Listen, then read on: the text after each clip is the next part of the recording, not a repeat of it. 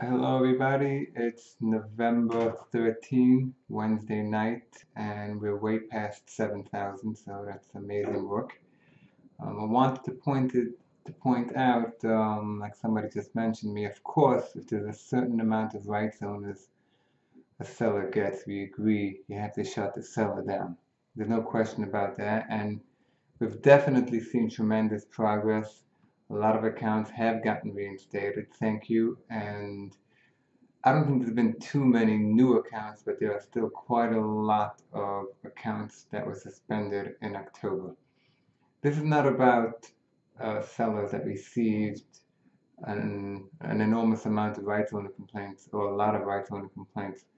What I'm talking about is one of the largest accounts on Amazon shut down, I think, for one or two um, rights owner complaints. They have 100,000 items. It's not even worth the conversation.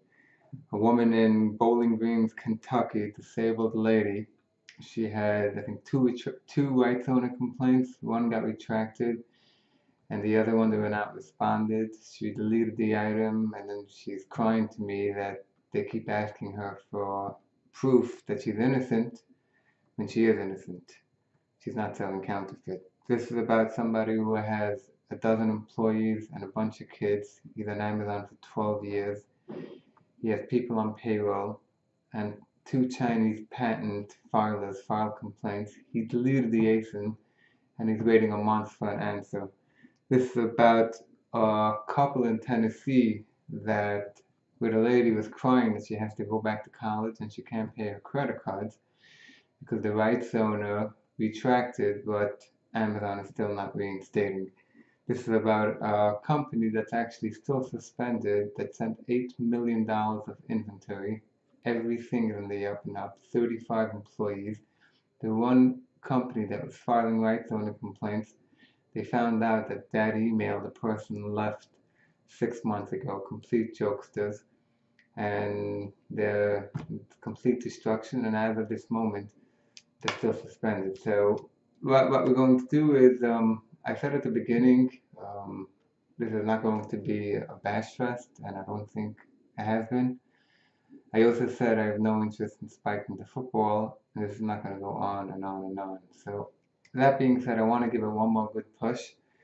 So I posted about it, and I'm going to post again, but just to explain what we're going to do now. Tomorrow, Thursday at 5 p.m. Now, if you're in Europe or in Russia or in Poland, it's very easy to find out what time 5 o'clock Eastern is on the internet.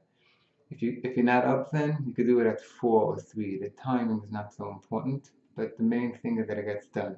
There's two things I need you to do, please. First of all, on your WhatsApp status, please update important Amazon sellers sign this petition.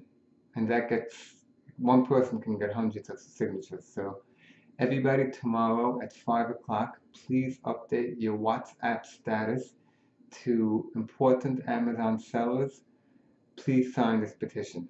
And then more importantly, we're going to do a worldwide engagement pod. The point is that these algorithms figure out that when there's a lot of engagement around one hashtag, so then it altogether we could push it up. We can have hundreds of thousands of views, maybe even more. And if we do this, we'll be tremendously effective in getting way past 10,000 signatures by tomorrow. So here's what you do. LinkedIn, Twitter, Facebook, or Instagram. You could do one, you could do two, you could do three, you could do four. Say the reason why you think that Amazon should shut the ASIN, not the seller, when they get one rights owner complaint and you're an established business. Put the link to the petition and then very important, check that hashtag and like and comment other people's posts that have that hashtag. You can also tag people who you know are Amazon sellers. So again, tomorrow at 5 o'clock Eastern, please update your WhatsApp status to important Amazon sellers. Please sign this petition and then an engagement pod where everybody at 5 o'clock Eastern says, and um, say, say the reason why respectfully. Everything should be extremely respectful and let people disagree. I still haven't heard one counter argument to my present. Not even one. Somebody please disagree. And um, and what and and just just post um, why you feel it's important for Amazon to shut the ASIN, not to sell. You have to hashtag that, or you're going to be out of the loop. And you can do that on Facebook, LinkedIn, Instagram, and or Twitter. Thank you, and I think the next one is probably going to be that it's over. I'll, I'll decide where where we're holding. Um, but this is definitely not going to go on forever, and we definitely, definitely need to, want to, and have to work with Amazon. Thank you.